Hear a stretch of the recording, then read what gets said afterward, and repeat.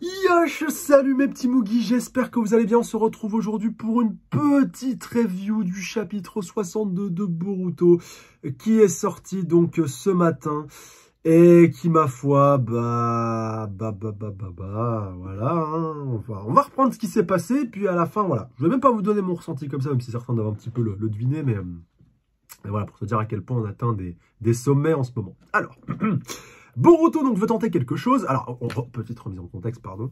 Euh, Kawaki s'est barré de chez Naruto où euh, il était censé, voilà, encore une fois, être, euh, présent via un clone et surtout via sa capacité à pouvoir effacer son chakra grâce au Kama, grâce à sa génétique. Enfin voilà, il y avait eu une petite remarque dans le chapitre précédent qui l'a fait tilter, qui l'a fait percuter et du coup, il a mis ceci en application le soir même, même si Boruto, bah du coup, vu qu'il est quand même relié par le Kama, un peu comme comme la dia de Rey Kylo Ren dans Star Wars. Hein, voilà, désolé, j'ai pas trouvé de, meilleur exemple euh, récent, entre guillemets, qui pourrait être plus explicite que ça. Et grosso modo, il le sent, non pas dans la force, mais dans le Kama, tu vois, qui était en train de partir. Or, personne d'autre peut le sentir à part lui, tu vois. Et bien vu qu'ils sont dans la même baraque.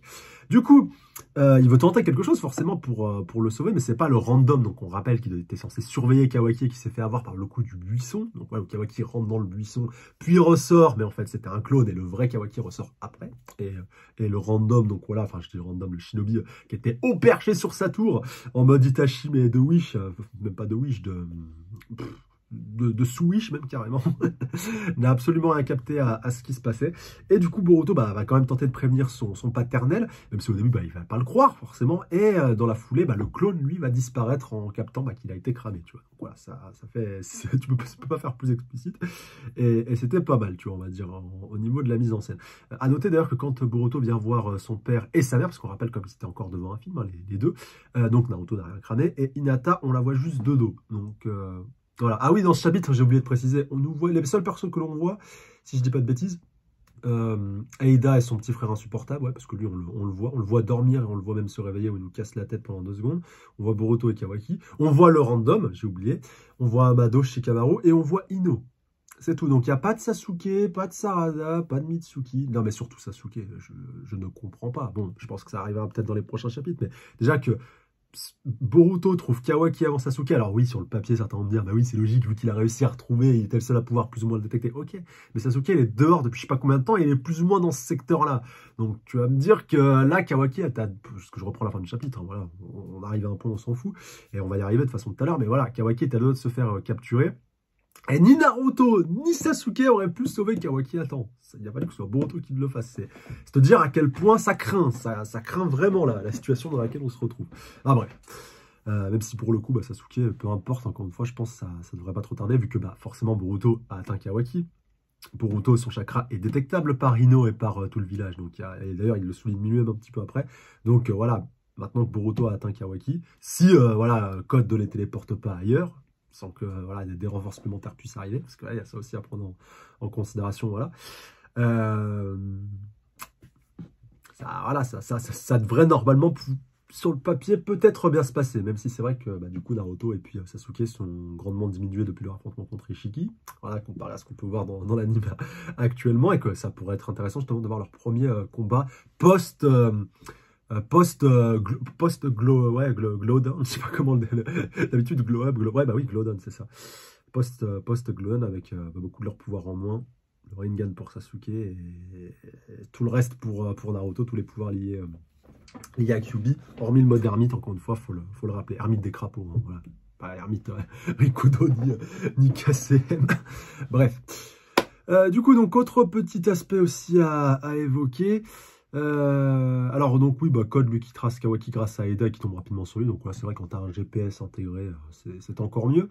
Euh, mais bon, on va pas encore une fois revenir sur le fond. Mais voilà, comme encore une fois je l'ai évoqué il n'y a pas très très longtemps aussi dans, dans l'animé et, que ça m'a encore plus saisi parce qu'il a même pas été nommé le dojutsu de d'Ishiki et je crois que celui de Eida non plus. Mais voilà, tu vois, pour te dire à quel point c'est la porte ouverte à toute la fenêtre, à toutes les fenêtres hein, depuis depuis ce qui est en train de se passer actuellement dans le dans l'animé, ce qu'ils sont en train d'adapter, comme, comme je l'avais dit à l'époque en tout cas. Bref. Boruto donc est enfin cru euh, quand le clone disparaît, puis il contacte via donc Ino, Shikamaru et Amado, donc qui sont restés au palais de Kage où ils font le point, et euh, Boruto, où la cellule de crise peut être en place entre guillemets, et Boruto décide de partir seul euh, le chercher car il est le seul à pouvoir réussir à percevoir sa présence comme il l'a fait quand il s'est barré et, et le temps presse, tu vois, forcément. Et elle repart donc à sa recherche pour que l'autre le suive à la trace, justement grâce à son chakra, donc ce que j'évoquais juste avant. Kawaki attaque direct Code, euh, qui se laisse pas faire. Donc voilà, il lui dit que s'il a bougé, c'est parce qu'il voulait le voir. Donc Kawaki hein, qui dit ça à Code. Code, lui, il a pour ordre de ne pas le tuer, donc sur ordre de Eida. Euh, alors que c'est justement, euh, bah voilà, c'est exactement le projet inverse qu'il lui propose, vu qu'il est celui qui a arrêté Ishiki. Faut quand même encore une fois le, préciser. Donc voilà, euh, Kawaki lui dit ça dans le sens, euh, en fait, épargne le, village, épargne Naruto, épargne Sasuke, épargne, épargne Boruto, tue-moi, juste moi. Et, il se retrouve face à un code qui dit, non mais en fait, c'est con, je peux pas te tuer parce que l'autre, elle a besoin de toi, tu vois, c'est... Con, putain, Kawaki tu attendais à quoi, franchement euh, Tac, et alors l'autre, il lui dit, voilà, non, je suis seul responsable, épargne Konoha. Non, non, l'autre, il lui dit non, tu vois, c'est logique. Bien entendu, donc l'autre ne veut pas, il veut supprimer tous ceux qui ont participé de près ou de loin à la mort d'Ishiki, et il l'assomme, enfin, il l'assume, et après, il l'assomme directement derrière. Euh, à tel point, justement, bah, euh, que Kawaki, après, il est tellement il est tellement décontenancé qu'il va ramper par terre, qu'il va pas le lâcher. Euh, non, non, t'en prends pas aux autres, tu vois. Bah, voilà, euh, un peu comme un petit chien battu, franchement, m'a fait de la, un peu de pitié pour Kawaki, justement, pas quand je l'ai vu dans cette situation. Euh, Aida, d'ailleurs, elle est furieuse à tel point qu'elle va en réveiller son petit frère, qui, voilà, d'ailleurs, va péter un câble et va nous casser la tête. En une case, il m'a déjà saoulé, tu vois. Enfin, voilà, c'est... Et la nuit, c'est fait pour dormir, tout ça. Enfin, genre, vous m'avez réveillé, mais mais on t'emmerde, gamin de merde, tu vois. Enfin, je suis à deux doigts de me demander si Kishimoto a pas capté que ce perso était déjà grave détesté et qu'il a dit allez, boum, je vais remettre une couche. Ah, putain, non mais sérieusement. Bref, en tout cas, voilà, non mais on est où quoi? On est, on est dans quel manga, sérieusement, putain.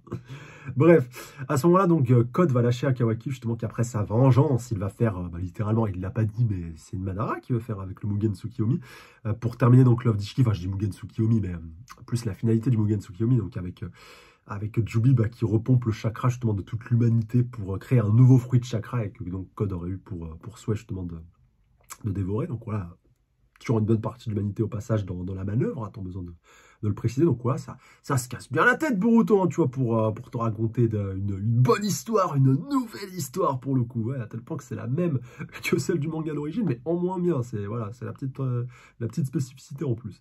Non mais voilà, quoi, normalement, faut, faut arrêter. Je sais que ça va pas se passer comme ça, mais et qu'il y a les facteurs Aida et puis son frère aussi à prendre en compte. Mais voilà, quoi, imagine, il y aurait juste code. Euh, c'est chaud, quoi, c'est chaud. C'est chaud. Bref, quoi qu'il en soit, donc il va rechoper Kawaki euh, justement euh, par, par, la glotte, à tel point justement je me suis dit, ah, il va peut-être pouvoir lui regreffer son kama, bon même si lui ne l'a pas complètement, mais voilà, en même temps je me dis, hey, Kawaki, comment est-ce qu'il va le récupérer, tu vois, son, kama même si je pense que du coup, bah, ça sera sûrement euh, grâce à Boruto qui, qui créera peut-être une sauvegarde du sien, justement de son état dans, dans son corps. et du coup, donc voilà, il lui dit qu'il ne veut pas se venger de lui. En tout cas, pas pour l'instant, car euh, quelqu'un l'attend. Et c'est à ce moment-là, en fait, où, euh, il a juste profité de, le choper pour pouvoir euh, se téléporter. Et c'est à ce moment-là, où juste avant qu'il s'apprête à repartir, que Boruto intervient en extrémiste, place un, bon low kick in your face et, et pour le coup, arrive un petit peu à le repousser. Il était moins une, il était temps, j'ai envie de te dire. Et maintenant, on va avoir un 2 contre 1 très certainement. Et on espère bah, qu'encore une fois, ça portera ses fruits pour, euh, la, team, euh, la team Boruto euh, Kaoki en attendant l'arrivée de Sasuke, de Naruto ou, d'autres persos. quand je dis d'autres persos, en vrai, il n'y a personne. Hein, voilà, on a pu l'occasion de le voir dans l'anime. Même des gars comme Rock Lee, comme Shoji, comme Kakashi, comme Tsunade. Ouais, non, on connaît pas. Ou plutôt n'existe plus. C'est triste, mais voilà, c'est acté. Si c'est acté pour l'anime, à ce moment-là, je pense que c'est acté aussi pour le manga, en fait, depuis longtemps. C'est juste que moi, j'ai mis du temps à percuté. Bon, reprenons un petit commentaire sans transition, ce type. Mais d'ailleurs, même certains me l'avaient souligné dans les commentaires. Donc, tu vois, voilà. Ce que vous voulez, j'étais un peu dans le déni. Mais L'espoir fait vivre. Hein. La réalité, ça fait crever. Alors, Akeisha nous dit salutations, salutations à toi. Bon, j'ai pris la décision de suivre Boruto en version manga en plus animé. Je vais faire un avis global, vu que c'est la première fois que je viens sur ta vidéo Boruto Scan. Il n'y a pas de souci, ça fait un petit peu oui des familles et ça va peut-être permettre de faire un petit peu le point. Alors, Premier point, il nous dit le combat entre Jigen et Koji était très bon. Euh, quelle idée de génie de sceller justement des vraies flammes et puis la révélation concernant Koji. C'est vrai que ça pour le coup c'était plutôt bien, bien amené. Ça changeait un petit peu justement d'un Materasu même s'il y avait un parallèle à faire. Donc euh, oui, et en anime ça a été pro, même si encore une fois ce combat n'a pas assez duré, même en anime. Personnellement je m'y attendais pas trop enfin. Un peu, mais c'était trop gros. J'espère une rencontre Naruto et Koji un jour, bah, vu que Koji est encore vivant, je pense. Et, euh, ce sera super intéressant de voir quand ça va se produire. Peut-être que si Boruto et tout voilà, se fait enlever, peut-être que voilà, Koji se repointera et retrouvera peut-être Amado. Ah, Koji, on va le revoir, je sais pas quand, mais on va le revoir, c'est sûr et certain. Sinon, il serait mort euh, face à Ishiki. Euh, Koji et Ishiki, bon, il a vraiment eu match. La différence était bien trop grande. Heureusement que Koji a réussi à prendre la fuite, mais au moins son combat n'était pas pour rien, c'est sûr, grâce à lui et Amado. Le gros point faible de Otsuki a été mis à jour et surtout bah, abouti à, la fin d'Ishiki et c'est pas non plus négligeable. Euh, la petite conversation entre Boruto et Sasuke quand Naruto est parti à la rencontre de Ishiki était vraiment touchante. Boruto a grandi, il comprend mieux les choses et le rôle d'un shinobi Sasuke qui n'hésitera pas à tuer Boruto s'il perd le contrôle de son corps. C'est vrai, c'était un moment fort quand même, de ouf. Et on l'a vu d'ailleurs dans l'anime il n'y a pas très très longtemps. Naruto et Sasuke vs Ishiki, le combat était vraiment beau. Je suis déçu de ne pas avoir eu de nouveaux combos Kyubi et Susanoo, mais bon, voilà, mais voilà, voilà, voilà.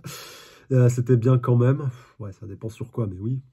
Pour le mode Baryon, oui, mais voilà, c'est un des rares points que je retiens. Moi, Naruto qui utilise une nouvelle technique avec Kurama, mais à quel prix? Je pensais vraiment qu'il allait mourir à la fin, mais au final, Kurama l'a bien eu, euh, et au final, le combat était vraiment intense. J'ai hâte de voir ça en animé. J'espère ne pas être déçu niveau animation. Par contre, c'est vrai que si Kurama revient et repop dans 4-5 ans, comme les euh, Bijou sont censés respawn après la mort d'un Jinchuriki, bon là, pour la première fois, c'est l'inverse. Faudra voir si ça se vérifie ou jamais. Et ça aussi, ça reste une de mes très très grandes interrogations de, de tout Boruto, et c'est aussi une des raisons pour lesquelles euh, j'ai envie de continuer l'histoire, tu vois, de voir euh, s'il y aura une suite pour Kurama ou pas du tout. 5, euh, franchement, on m'explique comment Ishiki Otsuki se prend un brain par Kawaki et son clone, ouais j'avoue, c'est vrai que c'était pas mal. On parle quand même d'un dieu, bah écoute, Kaguya se prend bien un brain aussi avec, avec une technique du harem. Hein. Enfin bon, c'était marrant quand même. Au final, Ishiki meurt un peu de façon idiote, Kawaki du coup se débarrasse de son Kama. Tout rentre dans l'ordre pour lui pour le moment. C'est pour le moment qui fait flipper. Boruto en mode Otsutsuki qui réussit à détruire l'œil de Sasuke, c'est triste, ouais. Bah, en se faisant posséder en fait par, par il n'a pas du tout eu le temps de réagir. Non, mais Sasuke, a vraiment été le dindon de la farce de A à Z dans ce combat, tu vois. On s'en rend compte déjà en animé, et puis les gens, ils vont le voir dans pas très très longtemps non plus. Euh, dans les prochains épisodes. Le combat entre Kawaki et Boruto était super bon. Sasuke qui a réussi, euh, mine de rien, à comprendre pourquoi Boruto n'utilise pas le Kama, et donc à la fin, Boruto reprend le contrôle de son corps. Tout finit bien pour lui pour le moment. Ouais, bah oui, c'est sûr. Enfin, tout, tout, finit bien. Non, je pense qu'il culpabilise la mort aussi d'avoir fait perdre. Oh, Sasuke a perdu son Rinnegan à cause de lui. Merde, putain, non, tout ne tout pas bien qui finit bien. Ouais, un peu pour lui, mais pas totalement non plus. Ça reste son sensei. Alors, ce, ce point, je suis très déçu. C'est comme si Sasuke ou Naruto avait planté le Sharingan de Kakashi. C'est la même chose, t'imagines? Donc, euh, voilà. Alors, euh, ce point, justement, je suis très déçu. Donc, Kurama qui laisse la vie. On parle de Kurama et que fait Naruto Limite, il se prend en mode, ouais, bon, dommage, adieu. Non, mais ça, ça a été... Ça, voilà, ça c'est le seul point vraiment sur lequel, j'espère vraiment que l'anime va, va rallonger un minimum quand même syndical, tu vois, par rapport, euh, par rapport à ça, voilà, parce que quand j'ai lu ce passage-là dans le manga, en plus c'est en tout début de chapitre, c'est j'ai trouvé ça honteux, vraiment honteux, tu vois, de, de, terminer tout ça en, à peine deux phrases, et puis même le choix des mots, euh, rien n'allait, absolument rien n'allait, et j'espère vraiment que l'anime va corriger ça, je l'attends vraiment de, de, pied ferme pour ça, surtout cette, cette fin de, cette fin de combat.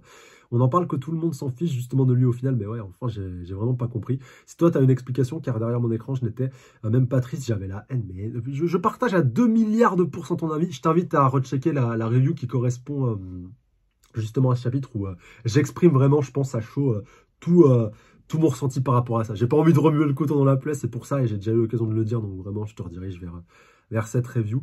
Et euh, si j'ai le temps et si j'y pense, j'essaierai de, te partager le, lien de la vidéo euh, en question sous ton commentaire. Euh, huitième, Amado, cette personne qui est un mystère à lui tout seul, mais de ouf. Je ne suis vraiment, je ne sais vraiment pas ce qu'il prépare, mais j'ai hâte de voir, surtout avec le genre de cercueil. Ouais, mais d'ailleurs, en plus, même dans l'anime, ils insistent pas mal dessus, il a tout le temps à côté de lui, donc ouais, j'attends de voir, envie de voir quelle est cette arme. On en reparlera plus tard, le concernant, faut attendre de voir la suite, exactement. Neuvième, euh, et maintenant justement autour des cyborgs, manque plus que Vegeta avec Goku et le combo sera au top. Ouais, bah c'est ça, non mais sérieux, j'ai vraiment, vraiment pas trop... Attends, j'ai vraiment pas suivi, t'as les Otsutsuki et maintenant euh, les cyborgs avec des pouvoirs surréalistes, vu que je suis au même point que toi, je ne sais pas euh, trop quoi dire, mais bon, leur pouvoir ultra cheat, faudra bien trouver la solution pour la victoire, car là c'est trop flou. Mais j'aime bien le caractère des deux personnages, j'attends de voir. Code, en plus, il a un beau style, je ne suis pas déçu, il n'a pas l'air de plaisanter, ça fait plaisir. Ouais, mais c'est un gamin. Aida aussi, c'est une gamine, et son petit frère aussi, c'est un gamin. Tu vois, on passe d'adulte à des affrontements entre gamins surcheatés, euh, overcheatés. Alors, ok, euh, ça fait vraiment le pont avec l'ancienne et la nouvelle génération. Ok, ok, on a bien compris. Euh, t'as voulu mettre Sasuke et Naruto à la retraite en même temps que tu neutralisais Ishiki. Et maintenant, voilà, c'est des fights 100% entre gamins et ultra cheatés. Et moi, bah, ça me plaît pas du tout. Voilà, quoi, je suis désolé. J'arrive pas à me, reconnaître, m'identifier ou, euh, ou à trouver un quelconque intérêt à, des gamins déjà qui n'ont même pas été ne serait-ce qu'un minimum développé. Tu vois, alors, je dis ça pour Kawaki et Boruto, c'est pas vrai, évidemment, mais pour Code et. Euh, pour Code et Aida, je suis désolé, Aida, elle a été introduite il n'y a pas très très longtemps. Code, introduit depuis plus longtemps, mais pratiquement pas développé. Euh, T'as un peu l'impression qu'il reprend le flambeau comme un cheveu sur la soupe avec Ishiki qui vient le voir et au final, il dit Oh putain, vas-y, je vais, je vais reprendre, euh, je vais reprendre le, relais direct. Kawaki, j'ai jamais réussi à m'attacher à lui, donc c'est compliqué. Il me reste quoi? Il me reste que Boruto, parce que même les autres personnes que j'aime bien, comme Mitsuki et Sarada, sont totalement mis sur le côté, alors qu'ils sont censés être au cœur de cette histoire. Donc, euh, c'est voilà, comprenez un petit peu, euh, enfin comprenez et comprenez du coup par extension aussi un petit peu euh, mon ressenti par rapport à ça, voilà, histoire d'être d'être bien concis. À cause de moi, ta prochaine vidéo durera deux heures, mais vivement qu'on en parle enfin, il n'y a pas de souci. Et non, t'inquiète pas, je fera pas deux heures, vu que pour le coup, le chapitre, bah voilà, je l'ai condensé en très très peu de temps, vu que euh, c'est un chapitre de transition. Et il n'y a pas eu beaucoup de pavés ni beaucoup de com, donc au moins la vidéo, en plus, ça sera pas trop trop long. Mais voilà, au moins, t'as mon ressenti euh, par rapport à tout ça et je te remercie pour, pour ce pavé très instructif qui a repris pas mal d'étapes intéressantes. Euh, Anthony nous dit, je me demande encore quand Kashin Koji va-t-il revenir à l'action, que ce soit en protagoniste ou en antagoniste. Ou antagoniste, ça m'étonnerait à cause de Amado, voilà, bah, justement, il est allié avec Amado. Je me demande ce que Koji prépare, parce qu'avec tout le temps euh, passé depuis son combat contre Ishiki, il doit déjà être sur pied depuis un moment. Bah écoute, on verra, peut-être que lui aussi est en train de s'entraîner et compte pas revenir avant d'être devenu encore plus puissant. Ah, qui sait, imagine, ça se trouve, il a encore mon beaucoup à cette en train de se perfectionner. J'ai envie de revoir le Bon beaucoup, putain C'est le monde des crapauds pour ceux qui ont oublié. Assad nous dit Ah, les ninjas random de Konoha, je me souviens de côté dessous, euh, Izumo, Raido. Ouais, le mec a la cicatrice sur le nez au sabre d'or. Ouais, mais voilà, mais au moins ces gars, ils avaient quelque chose, tu vois. Et Aoba, oui, c'est vrai, quand il combattait Italie Ah oui, exact, putain, oh là là, oui, Aoba, qui, oui, exact, exact, qui était avec, euh, ouais, je de me rappeler de leur tête. mais c'était des bons randoms, tu vois. Ils, avaient de la personnalité. Ils étaient claqués au sol niveau combat. Mais voilà, ils, avaient le ils avaient rien qu'une gueule. Ils avaient une gueule. Et une bonne gueule. Tu vois ce que je veux dire? Enfin voilà, Kishimoto c'était casser la tête pour, euh, pour les rendre bien identifiables. Tu vois ce que je veux dire? C'est comme euh, le gars de l'examen de section étudiante, le tout premier qui arrêtait pas tout le temps de tousser. Bon d'ailleurs, il a, il a très très mal fini. Mais euh, oui, voilà, Izumo et Kotetsu, c'est les deux qui étaient ensemble, parce que j'étais celui que tu évoqué tout à l'heure. Et, et attends, tac. Raido et Aoba, plus. Les noms me parlent, mais j'ai plus leur tête. Deux petites secondes. Tac. Là, franchement, tu m'as remis 5 ans dans la gueule pour Izumo et côté de Parce que c'est vrai qu'on les a plus du tout revus, tu vois. Oui, Raido, ouais, je vois très bien qui c'est. Et tac, enfin, c'est pas le perso le plus important, mais ouais, sa cicatrice, je vois. Et. Euh, mais Aoba, il a pas des lunettes, lui, si je dis pas de conneries. Ah, si. Oh là là, mais ça fait tellement longtemps ce perso Il traînait tout le temps avec Yamato, lui, si je dis pas de bêtises, non? Tac, ouais, avec Raido et... Ah oui, c'est vrai qu'il y avait... Ouais, il y avait le trio d'Izumo, enfin le duo d'Izumo et Kotetsu, et il y avait ce trio-là, justement, avec Raido, quoi, je vous ai montré tout à l'heure, et, euh, et, Genma aussi, voilà, Genma, justement, qui a remplacé... Euh, Genma, qui était l'arbitre de la fin de, la sélection des Chunin, et qui avait remplacé, tac...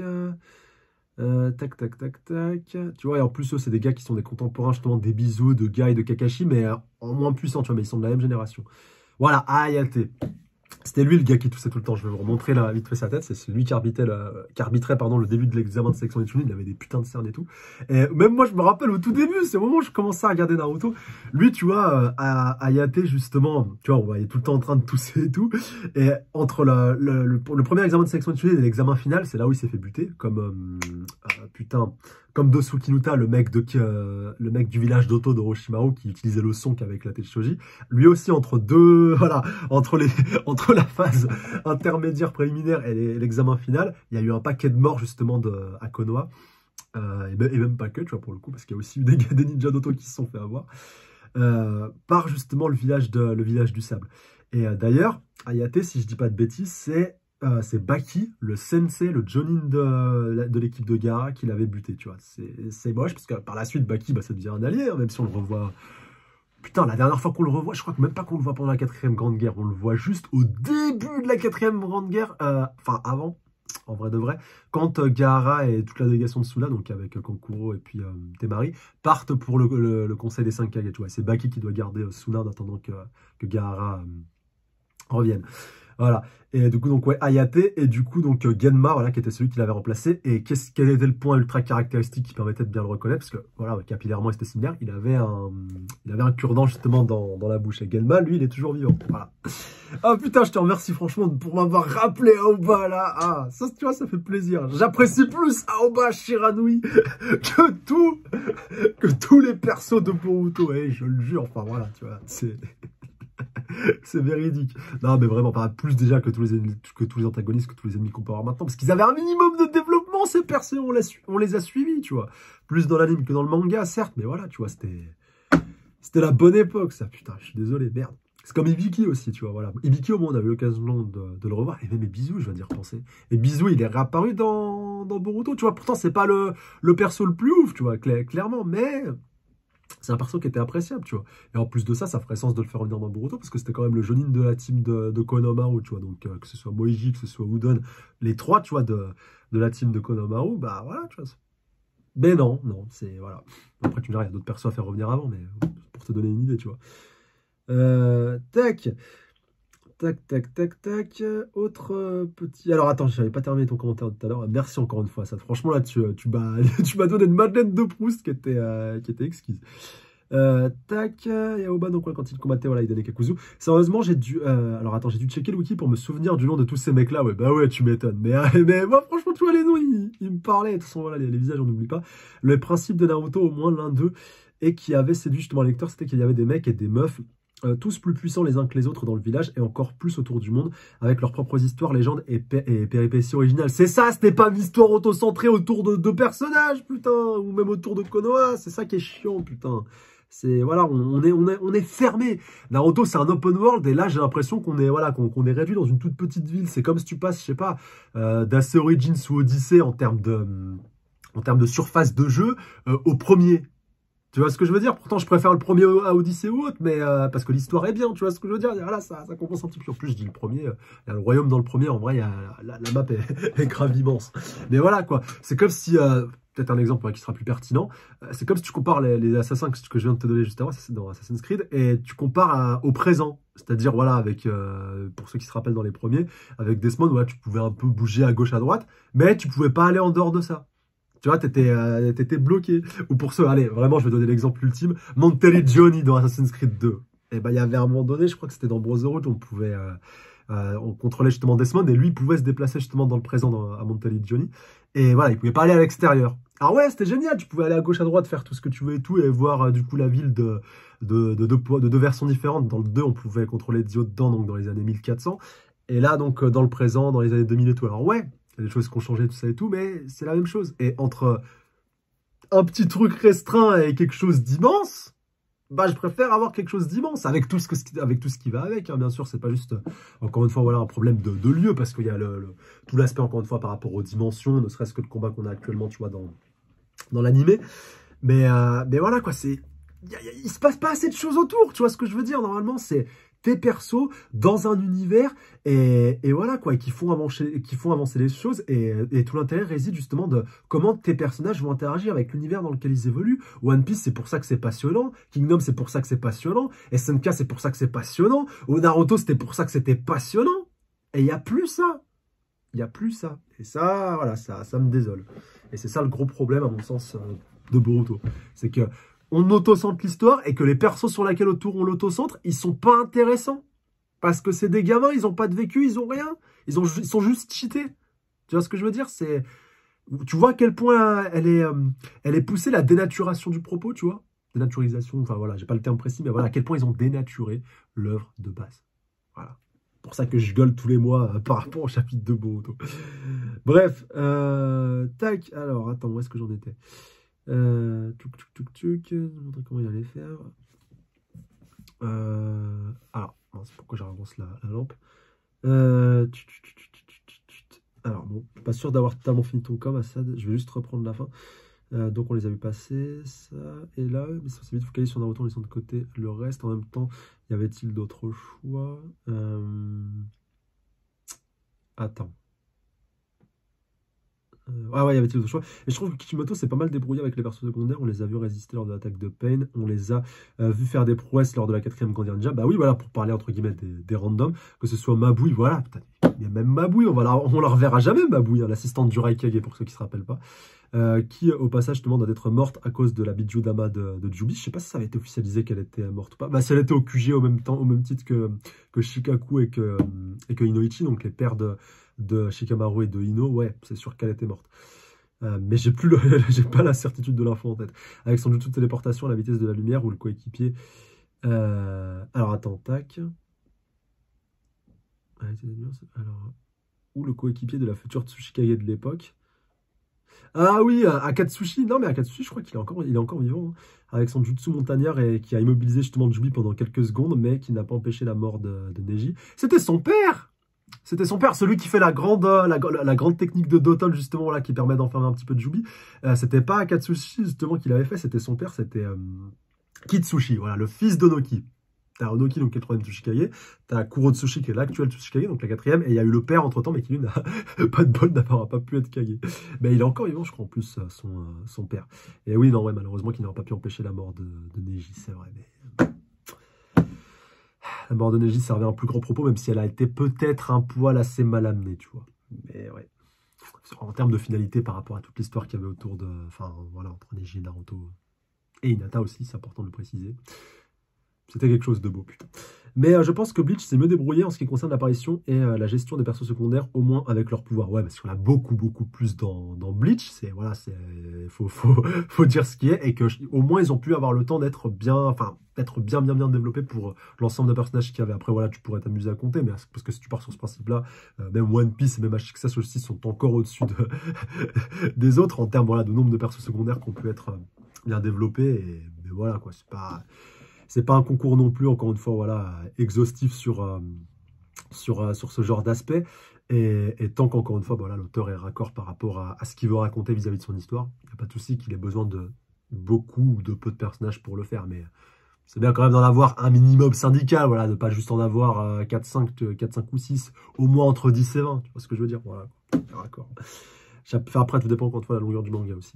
Chapitre de transition, encore une fois, même, euh, ça va vous paraître con, hein, mais même Mashima dans Fairy quelque part, il y arrive un peu mieux, tu vois ce que je veux dire Donc, euh, voilà quoi. Faut, savoir se poser les bonnes questions aussi.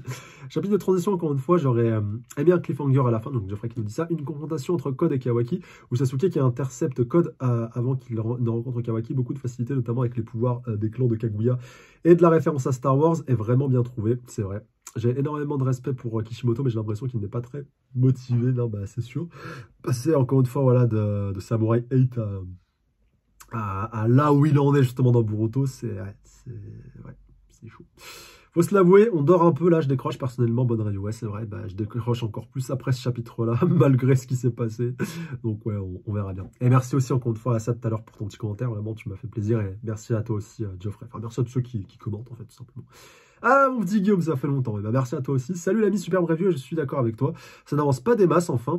Euh, on verra bien par la suite. Pour en revenir à l'animé, je pense que hum, l'ellipse dans le manga est très proche car j'ai fait mes recherches sur internet et l'animé Boruto rattrapait le manga quand celui-ci allait entrer dans l'ellipse. Et aussi, j'ai vu que l'épisode 219 adaptera le chapitre 55, soit la fin du tome 14, qui est censé être à la moitié justement du manga s'il fait 28 tomes. En plus, le nouvel opening sera, euh, le 10 octobre, le jour de l'épisode 219, et qui est aussi l'anniversaire de Naruto dans le manga. Et le titre de l'ending s'appellera Prologue.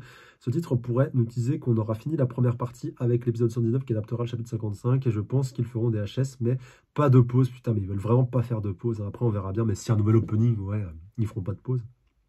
Après, on verra bien la Jump Festa en décembre, ce qu'ils vont nous annoncer. Et puis, après tous, euh, il se passe très peu de, temps entre la défaite de Ishiki et le plan euh, de euh, le plan de code. Je me demande vraiment comment ils vont gérer tout ça.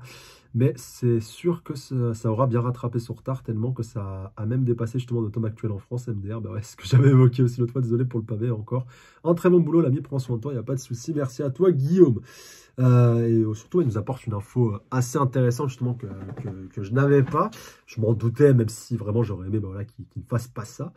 Euh, à savoir bah, de continuer avec des fillers comme il l'avait fait en fait à l'époque à la fin de, Naruto originel quand ils n'étaient pas passés à Shippuden tout de suite justement pour, euh, pour laisser à Shippuden prendre suffisamment d'avance. Voilà, croire qu'ils ne retiennent pas la leçon. Ils ont déjà fait l'erreur à l'époque où Naruto était en hebdo, et ils la refont encore quand il est en mensuel.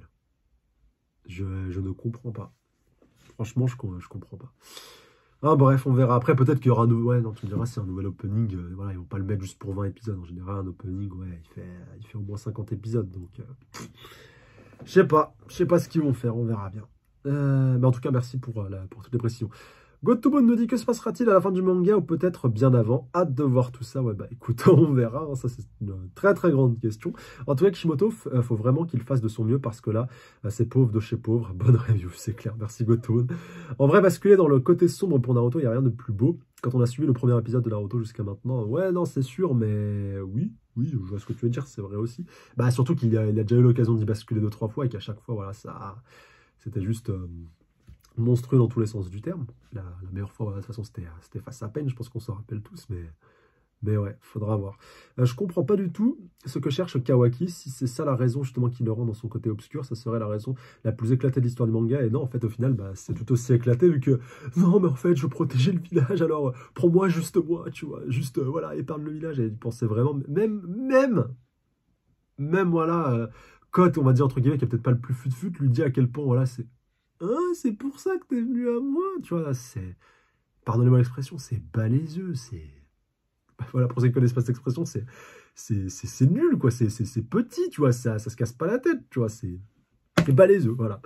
Tout à fait. Donc, euh, tu as tout dit, Spring. Mais totalement. Alors, on est. Alors, on sait pas pourquoi justement il cherche à sortir du village. Autant le savoir. Avant de dire ça, donc attendons le prochain chapitre. Ouais, bah tu vois, on a beau avoir eu l'attente, c'était pas de, de bon augure, tu vois, peu importe la raison. Au fait, si ça le mène vers euh, le côté obscur, ce sera éclaté. Non, bah au final, ça n'a pas été le cas, et quelque part, heureusement, parce que voilà, il aurait plus manqué que ça. Mais, euh, mais voilà, quoi. il n'a pas compris, je crois. Il, ne veut pas comprendre Kawaki qui pourra pas régler euh, tout tout seul, tout ça et tout, alors qu'en vrai, bah, il n'a pas changé. Hein, tu vois, même en arrivant à Konoha et tout, c'est ma gueule, ma gueule, ma gueule, ma gueule. Alors je sais que voilà, tout ça passe plus pour de l'altruisme dans le sens où euh, épargne-les et prends-moi moi. Mais, mais non. T'es pas le premier à nous le faire et ça s'est jamais passé comme ça, tu vois. Et la preuve en est, bah, heureusement que Boruto s'est pointé parce que sinon, hein, ça aurait été compliqué pour toi, mon ami. Enfin bref.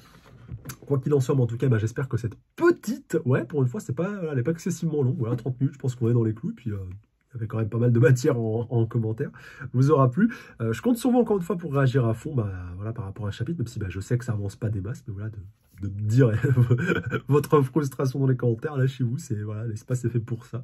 Ça peut être un petit exutoire pour vous, euh, avec plaisir.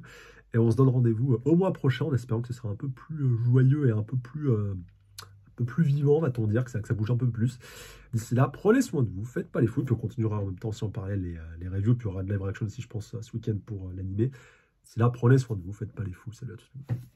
Passez une bonne semaine et ça Et n'oublie pas euh, de liker et de commenter vraiment, c'est super important pour le référencement. Je compte sur vous par rapport à ça parce que ça n'avait pas été trop trop motivé la dernière fois. Et abonne-toi pour ne pas louper les prochaines. Peace